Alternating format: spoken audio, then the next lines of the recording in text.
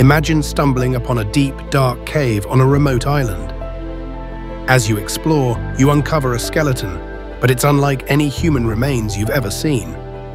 It stands a mere three feet tall, less than a meter. This isn't some ancient fairy tale about dwarfs or tiny folk. This is the true story of Homo floresiensis, a mysterious ancient human species, affectionately dubbed the Hobbit human.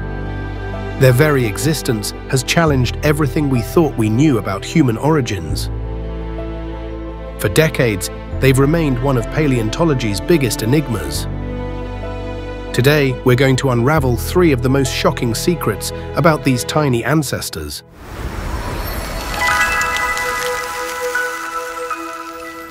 It all began in 2003, in a limestone cave called Liang Bua, on the remote Indonesian island of Flores. A joint Indonesian-Australian team of archaeologists and paleoanthropologists, led by Professor Mike Morwood and Raden Soejono, were there searching for evidence of early human migration out of Africa.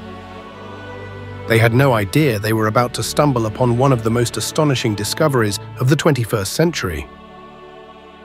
Amidst layers of rock and soil tens of thousands of years old, they found what, at first glance, appeared to be a human skeleton. But it wasn't modern human, nor was it any known ancient human species.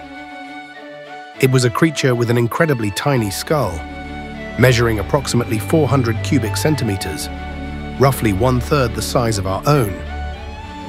And when scientists, notably Peter Brown and his colleagues, meticulously reassembled the rest of the skeleton, they were truly stunned. They had found an entirely new human species. They named it Homo floresiensis, from the island of its discovery, but the world quickly adopted a more fitting nickname, the Hobbit human. The initial findings were published in the prestigious journal Nature in October 2004, sending shockwaves through the scientific community.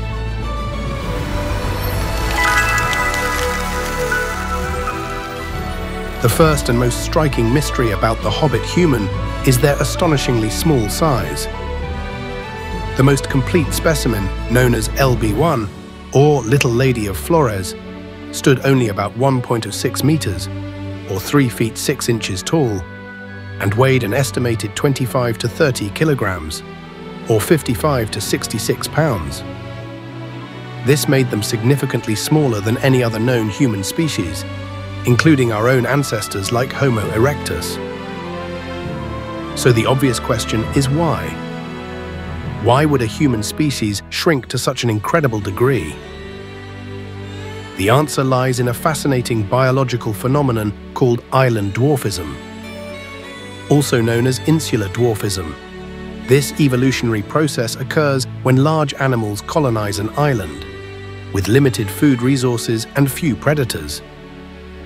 Over many generations, natural selection favors smaller body sizes, as they require less food and can survive more easily in the new environment.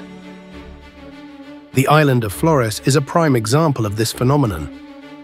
Scientific evidence from the fossil record on Flores confirms this. Not only the hobbit human, but also an ancient elephant species, a dwarf form of stegodon, known as Stegodon florensis insularis, had also dwarfed into tiny elephants, some no larger than a pony.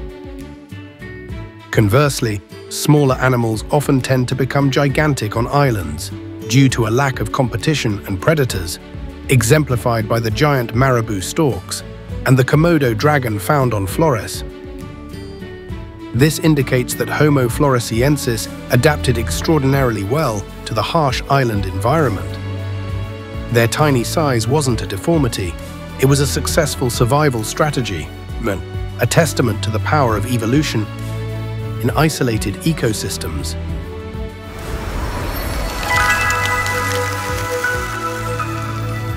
But here's where things get truly perplexing for scientists, prompting extensive debate in journals like Science and Nature. Alongside the tiny skeletons, archaeologists unearthed hundreds of sophisticated stone tools at Liang Bua. These weren't crude, basic stones. They were meticulously crafted, sharp-edged tools, including flakes, points, perforators, and even microliths. Evidence from tool marks on animal bones suggests these were used for hunting, cutting meat, and processing plants. The paradox?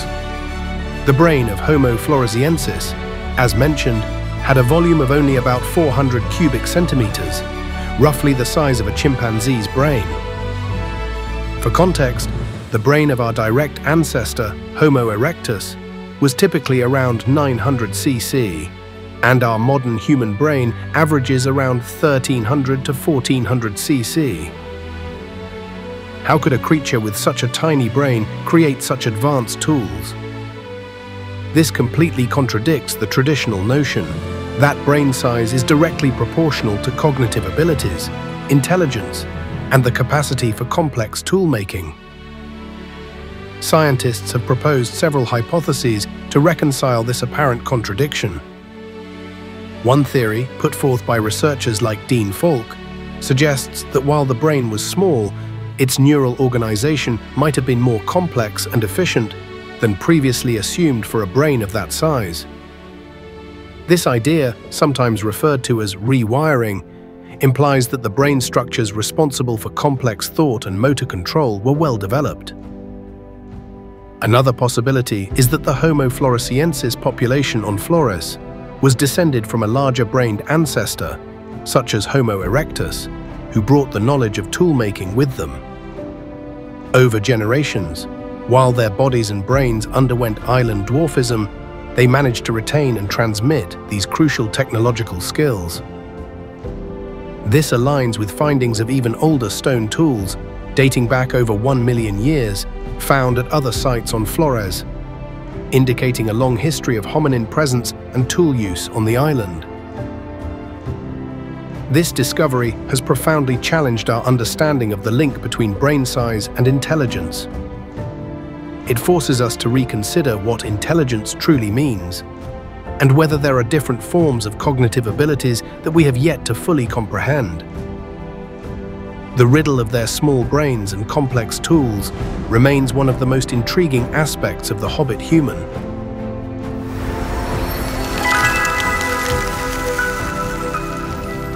The third secret is equally astonishing. The timeline of Homo floresiensis's existence. Initial dating of the skeletal remains from Liang Bua suggested they lived between 95,000 and 12,000 years ago as published in the early Nature papers.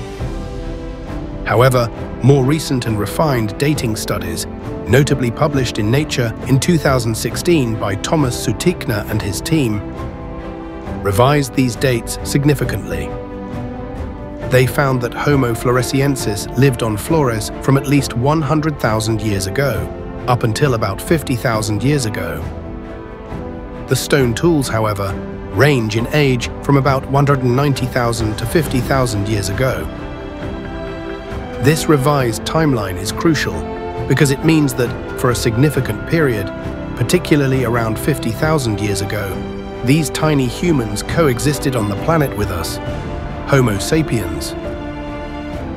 Modern humans began migrating into Southeast Asia and Australia roughly between 60,000 and 50,000 years ago, as evidenced by archaeological sites like Madjedbebe in Australia.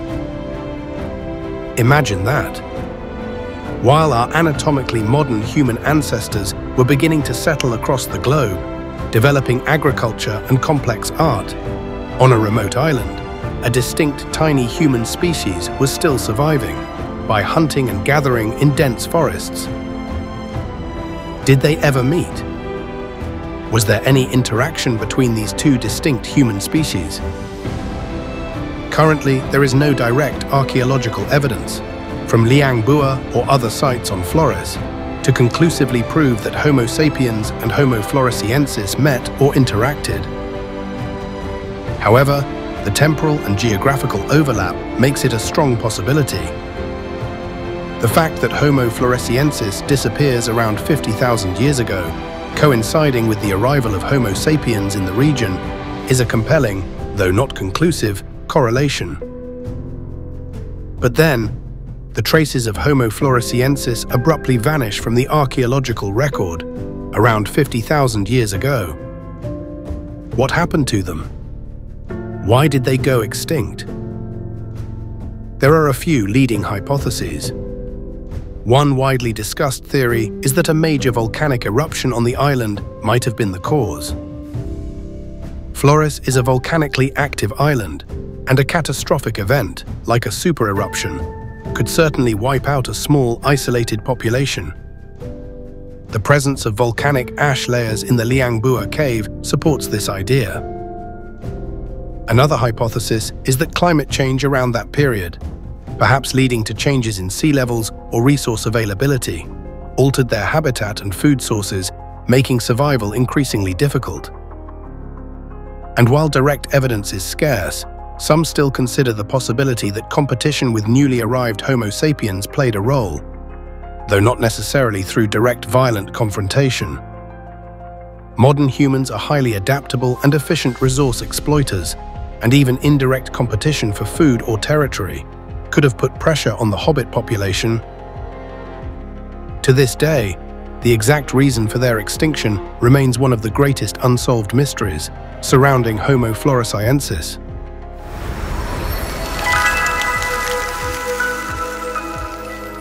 The story of Homo floresiensis, supported by compelling archaeological findings and rigorous scientific analysis, is far more than just a tale of a mysterious tiny human.